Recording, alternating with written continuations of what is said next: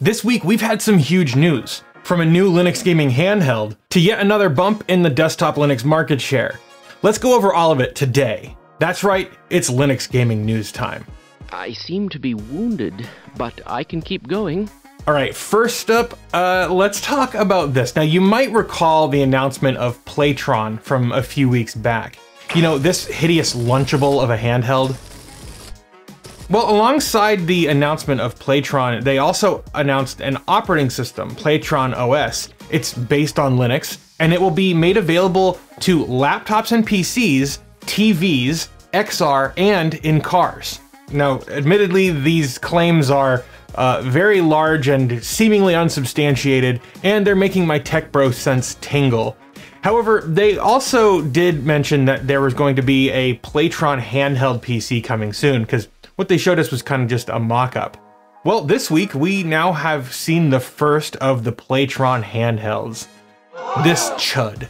It's called the SuiPlay OX1, or if you know anything about programming, the OX at the beginning just means that this is a hexadecimal encoded number. So that OX1 is literally just 1. So this should be called the SuiPlay 1.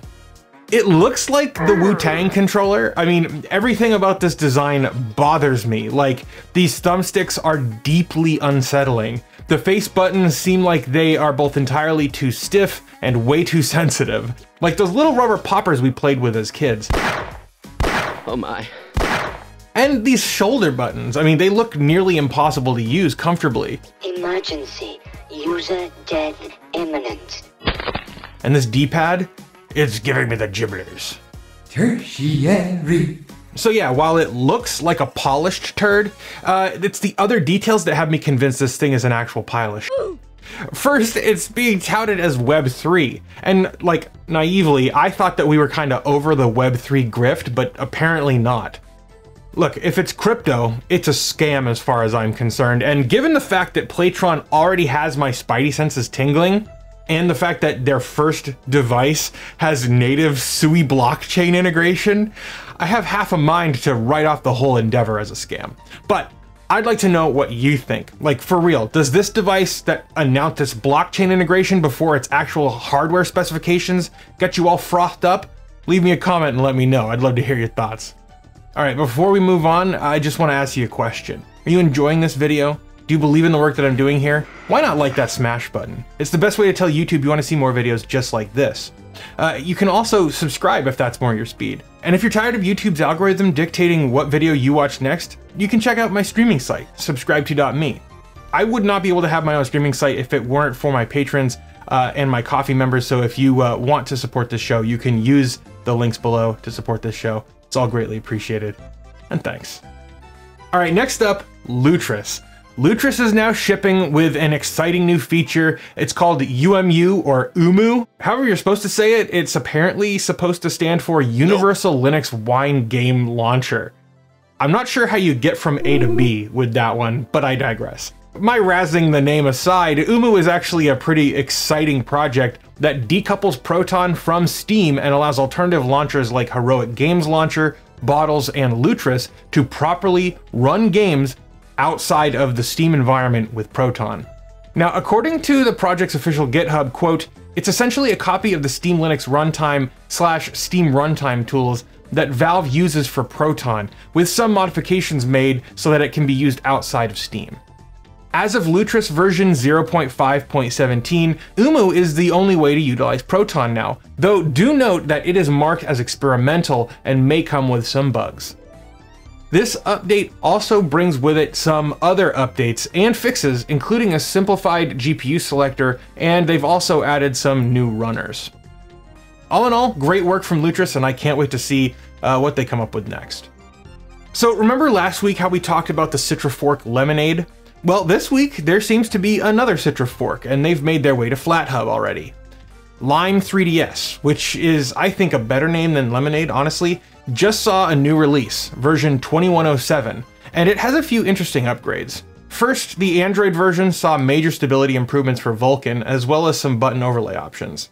We also now have SPIRV optimizations enabled, which allows for smaller compiled Vulkan shaders and fixes for some system defaults. The devs are also looking for help debugging their emulator on ARM-based Macs, so if you have debugging experience and an M series Mac handy, head over to their GitHub with the link below and volunteer. I'm sure it would be much appreciated. Uh, I wanted to call out this shirt that I'm wearing. This is one of my custom designs that you can pick up over at GardinerBryant.com. It's the Steam Deck logo, if you can't tell, and it's in the Xbox, uh, the original Xbox Jewel. There's also a few other uh, retro game console inspired uh, deck logo shirts over here. We have the uh, original PlayStation, we have a Sega Genesis, we have the GameCube, uh, another Xbox, original Xbox inspired one, because the original Xbox might be my favorite console, and many, many others. Uh, if you want to check out those shirts, you can head over to gardinerbryant.com. Yeah, it's a lot of fun. Okay, next up, let's talk about Linux market share, because this is a big deal. Linux market share has hit another all-time high. So what is it, 10%, 15, 20%? No, it's it's 4.05%. Now these numbers are made uh, available by StatCounter, and they're essentially gathering info from web traffic across over 1.5 million sites globally. This is a fairly reliable number. Uh, I know a lot of folks are gonna hear 4% and the Microsoft memes are gonna kick in. Like, oh, 4% is nothing. I'll be over here using my real operating system. How much do you think this advanced operating environment is worth? 500? A thousand? Even more? No, it's just the loss of your privacy and eternal subjugation to our walled garden. It's it's important to remember these uh, three crucial points though. Number one, this is desktop Linux usage. This number doesn't even include Chrome OS, which is itself uh, a Linux distribution. And if it did include Chrome OS users, this number would be 6.32%. Number two, Linux runs the entire world. I mean, everything, virtually every web server, more than 80% of smartphones, and practically all infrastructure runs on Linux, not to mention those aforementioned Chromebooks. And number three, this 4%, well, just last year, that number was only 2.9%. Gaming on Linux has a handy little graph that plots Linux growth since 2009, and it shows the recent explosion in growth. It's important to recognize just how striking this upward trend is and how it shows no sign of slowing down. My conclusion with all of this is that it's only a matter of time until your desktop is using Linux too. First they ignore you, then they laugh at you, then they fight you, then you win. And we're in that fight you stage right now. Well, that's going to do it for this video. Thank you very much for watching. If you enjoyed this video, maybe check out one of these other ones here. This one is my second channel, where I'm doing a D&D campaign with my family. And this one over here is the video that YouTube thinks you're going to enjoy the most. So go ahead and click on that.